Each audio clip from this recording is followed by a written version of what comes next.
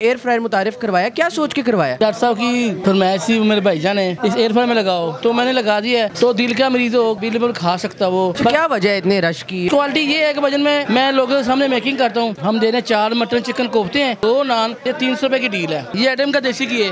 ये चेक कर लें।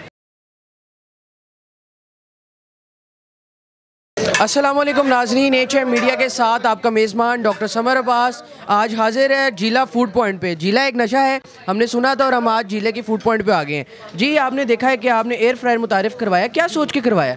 जी, डॉक्टर साहब की फरमाइश मेरे भाईजान ने उन्होंने कहा, ये शुरू करो, मेरी आम को इस एयर फ्रायर में लगाओ। तो मैंने लगा दिया है, पर बहुत चीज़ है वो। ज़बरदस्त चीज़ है, घर के लिए तो बहुत बेस्ट है। बहुत अच्छी चीज़ दिखाएगी है मेरे पास कस्टमर ज़्यादा है। मैंने बनाया भी है। हमने कुछ खाया भी है। हमें बड़ा अच्छा लगा। कोई ओलिव नहीं डाला, कोई घी नहीं डाला हमने। तो बड़ी अच्छी चीज़ है, पर वो मार्केट में शार्ट है वो। हम जो चाहते हैं ना, हमारा जो बड़ा जैसे फ्रीज़र है, बड़ा सा हो तो वो हमें मिल जाए। हम उसका काम करना चाहते हैं। वो है अच्छी चीज़ है, पर मिलता छोटा है। पहले था बीस, पच्चीस हज़ार का, अब वो चला गया पैंतालीस हज़ार रुपये का। अभी हमें वो मिल नहीं रहा। मुझे चाहिए ज़्यादा। बाकी वो चीज़ बहुत ज़बरदस्त है। कि महँगा होने की वजह से आपको मुश्किल का सामना। हाँ जी हमें बड़ा चाहिए। तो महँगा भी कोई मसला नहीं है। असल में इसका साइज़ छोटा घर के लिए बहुत बेस्ट है और बड़ी अच्छी चीज़ है वो।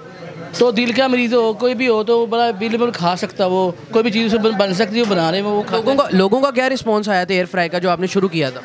बड़ा अच्छा आया था वहाँ माशाल्लाह बहुत ज़्यादा आई है।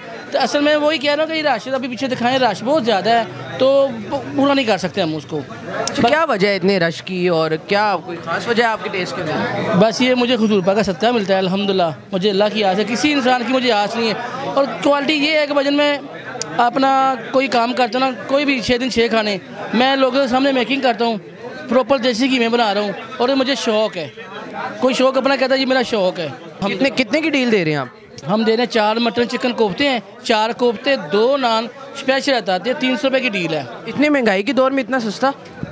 वे वाम के पैसे वाम को वापस। अल्हम्दुलिल्लाह। अक्सर हम आपकी वीडियोस देखते रहते हैं आप देसी घी का बड़ा इस्तेमाल करते हैं क्या कि नुकसान नहीं है कि जो लोगों को आप खिला रहे हैं? अब एक एक चीज़ ना सौ किलो उससे सोलह को देसी घी डाल रहे हैं वो इतना ज़्यादा नहीं है। लोगों को लगता है बहुत ज़्यादा देसी घी डाल रहा है वो ऐसा नहीं है। असल में ना हमारी क्वालिटी बहुत ज़्यादा है।